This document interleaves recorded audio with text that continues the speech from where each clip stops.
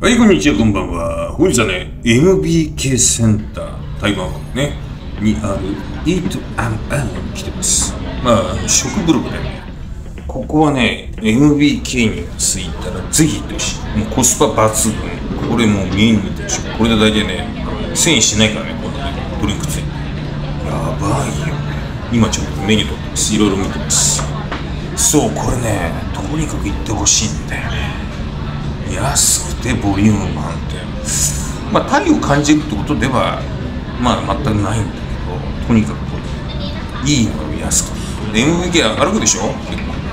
広くてそれ疲れた時にここで一服してから行くのにハイポテトポテイトかね。ですねポテイト。まあ普通に美味しいですよ。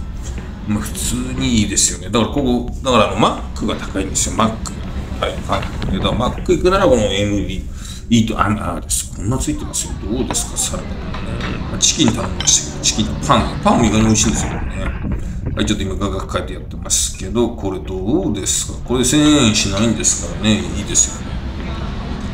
まあ、あの、タイはね、牛肉があんまりね、あの、おすすめできないですよ。ビーフがね。なんか、水牛らしいんですよ。水牛。多分。あんまりその、ビーフじゃないんですよね。和牛の。そう。なんでタイに行ったら、まあ、ポークかチキン。でこれ多分フィッシュね。うん。だと思うんですよね。で魚はねあんまり生のは食えないですよね。当然当たり前ですけど。まあこうやって揚げたものになりますよね。うん。日本ぐらいですよ刺身食べるのね。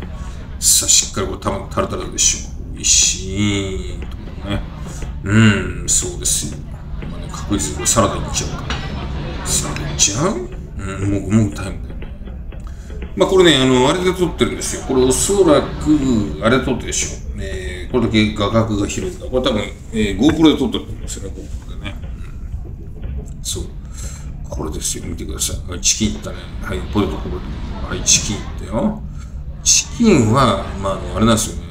どこで食べてもね、外さないですよ。はい、それではね、MVK 行ったらぜひ行ってください。チャンネル登録、高評価よろしくお願いします。それでは、さようなら。